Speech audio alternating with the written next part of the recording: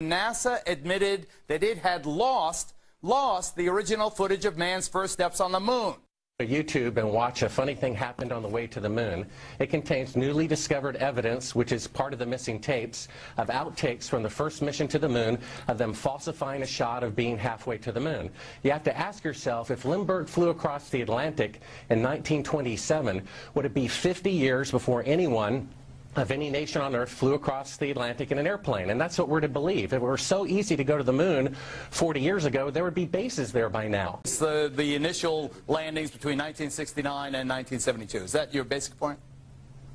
Well, that's one of the points. First of all, we found never before seen footage of them faking part of the photography, which is in a funny thing happened on the way to the moon, which has been licensed five times and can only now be viewed on YouTube.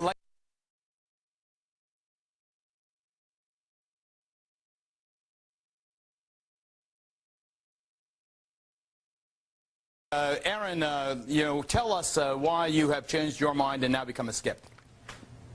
Sure. Thanks for having me on, Geraldo. I really appreciate it.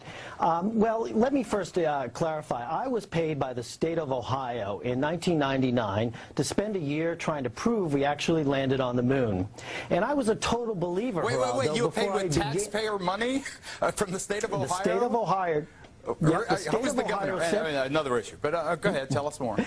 Anyway, so I took a year and I traveled across the country. And folks, I've actually posted it on YouTube. It's called Did We Go?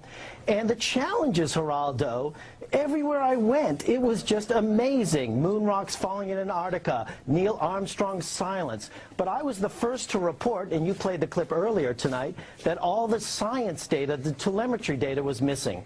Now, Geraldo, for NASA to come out and say that all the tapes were erased, I mean, you must, it's incredible. Geraldo, this isn't just one tape. This is rooms of tape labeled Apollo 11 moon landing. Someone had to physically go and erase it. And it just, you know, I really, in my heart, Geraldo, I want us to go. And I know all your viewers want us to go. But if you watch my film over and over again, and I don't know if you have the clip of me trying to laser range off the moon, I, I, you know, it's very challenging to try to prove we landed on the moon, and it shouldn't be challenging. The tape should be there. There should be plenty of evidence.